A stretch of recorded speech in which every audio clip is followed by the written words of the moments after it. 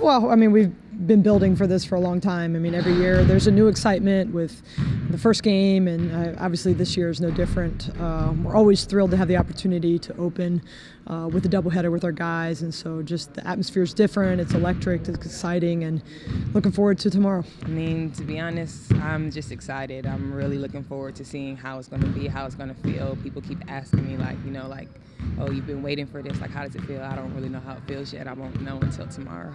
Well, we're thrilled to have them uh, coming here and playing us. Uh, anytime we can test our team with a, a powerhouse from the, the, Power Five conference is really important for us. And, uh, you know, Wisconsin has a new coach, but a coach that I've known for a really long time, and he's been very successful. He did a great job at GW. Um, started at Notre Dame, who's won uh, national championships and Final Fours. So uh, while he is a new coach, uh, certainly know that they'll be prepared and ready in terms of their personnel, they're very big, and so we're going to be challenged in the post right off the bat. Um, in terms of just defending them and boxing out, I think those are going to be two really big keys for us.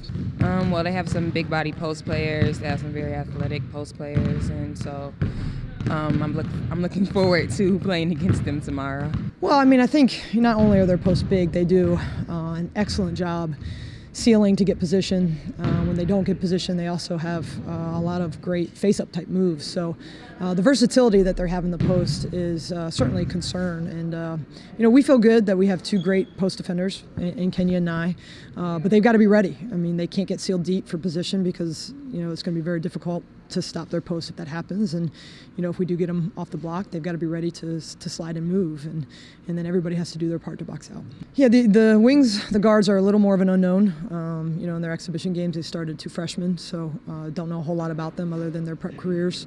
Um, and uh, you know their rotations and their depth in that area is a little different. So um, you know I think you, you prepare your team the best that you can. Uh, we know Wisconsin will be ready, um, but we have to focus on what we can do well. And, um, you know, that's been mostly our game plan and our prep. How can we prepare ourselves in the way that Charlotte does things to be able to get a win on Friday? And that's what we're trying to do. Sure. I mean, it's really cool to have our Veteran Day, you know, military appreciation game day on a doubleheader when we're going to have a great crowd and uh, a lot of excitement in the building. So that just adds to it. Uh, certainly, our, our, our, young ladies and our myself and our staff are, are so thankful for the veterans and those that you know have served in the military, those that continue to serve in the military to give us the freedoms that we have today, and, and we don't take that uh, for granted at all, and we thank them. I mean, we're excited to show the whole country what we have, what we're bringing Conference USA, everyone. So. Well, I think you know, you know, I always say that we play an exciting brand of basketball. We have really first class young ladies that represent our team well off the court.